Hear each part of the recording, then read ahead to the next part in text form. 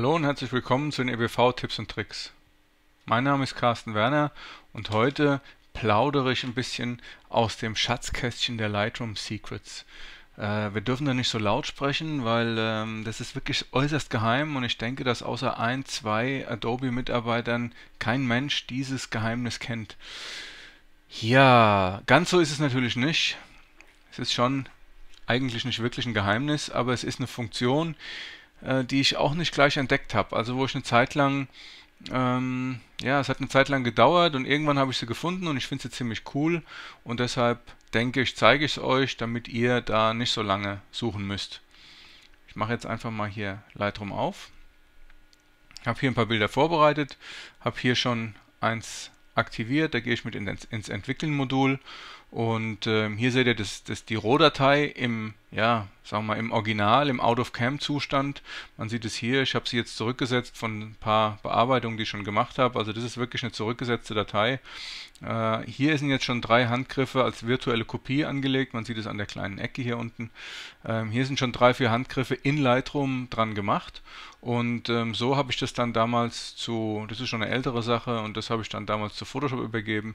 Und das Photoshop-Bild sieht dann so aus. Und ähm, das ist das Bild, was er wahrscheinlich äh, von meiner Homepage oder von meiner Facebook-Seite so auch kennt. Was ich euch jetzt aber heute hier zeigen möchte, ähm, hängt mit den selektiven Retuschewerkzeugen in Lightroom zusammen, das heißt mit dem Retuschepinsel, mit dem Radialverlaufswerkzeug und mit dem normalen Verlaufswerkzeug. So, und jetzt geht es auch direkt los. Ich vergrößere mir jetzt hier auf das Auge. Ist jetzt einfach nur ein Beispiel. Ich arbeite jetzt das Auge ein bisschen, bisschen raus hier in Lightroom. Dazu nehme ich mir den Retuschepinsel.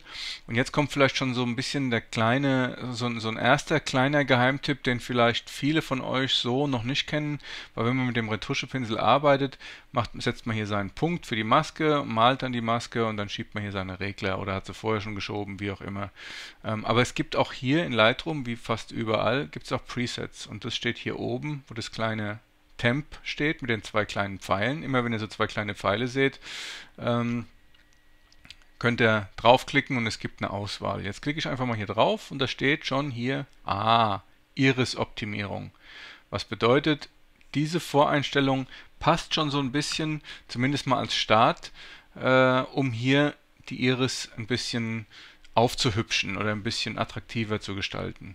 So, jetzt passe ich meinen Pinsel an. Das kann ich hier mit der Punkt- und Komma-Taste machen. Also ich kann das entweder hier über den Größenregler oder ihr seht es hier im, im Dunkeln. Wenn ich jetzt die Punkt-Taste drücke, wird es größer. Wenn ich die Komma-Taste drücke oder gedrückt halte, wird der Pinsel immer kleiner. Und den passe ich mir jetzt so an, dass der hier gerade reinpasst. Und dann male ich einfach mal hier in dem Auge und gucke, was passiert. Das ist jetzt die Voreinstellung die Lightroom mitliefert, um die Iris zu optimieren. Ist definitiv, wenn man jetzt das vorher-nachher anschaut, definitiv ein Gewinn und würde wahrscheinlich hier auch schon genügen. Aber ich möchte euch jetzt ein bisschen was Neues oder ein bisschen was anderes noch zeigen. Das heißt, wenn euch jetzt dieses Verhältnis, wie hier die Kontraste und also jetzt ist hier, man sieht es, die Kleid ist hochgezogen, die Sättigung ist hochgezogen und die Belichtung ist auch ein kleines bisschen hochgezogen.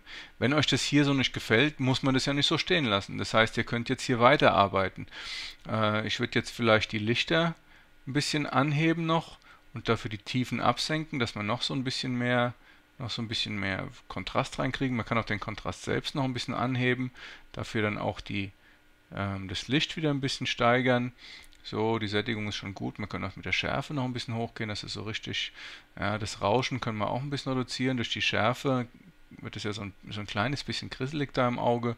So, jetzt habe ich den, die Regler alle noch ein bisschen angepasst, sodass mir das noch besser gefällt.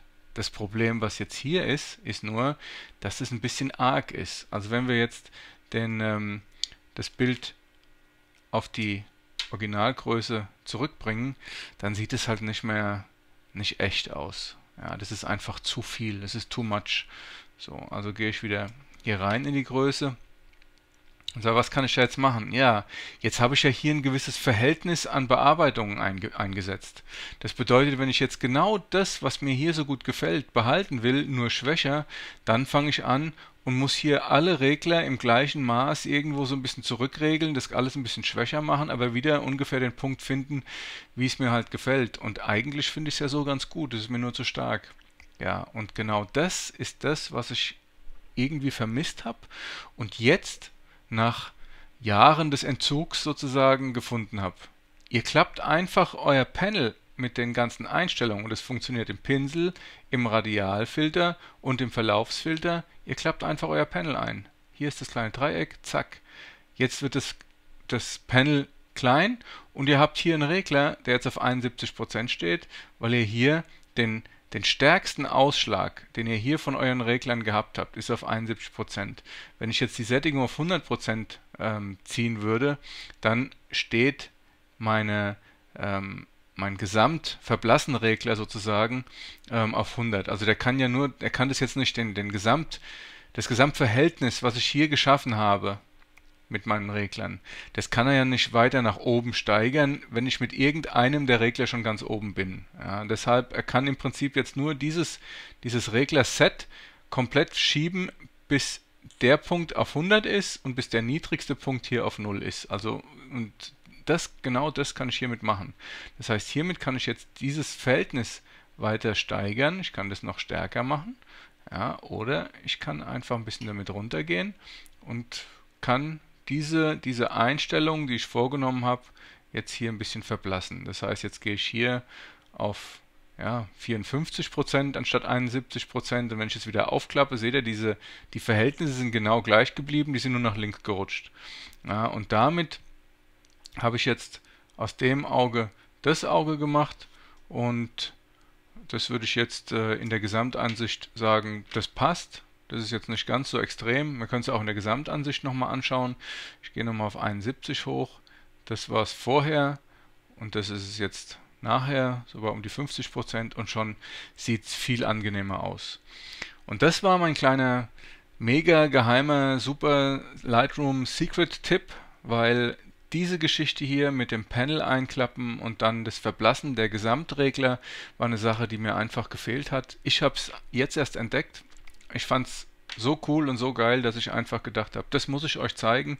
Und ähm, vielleicht ist ja der ein oder andere von euch dabei, der das noch nicht gesehen hat und ähm, dem ich da ein bisschen was Neues zeigen konnte und ein bisschen helfen konnte.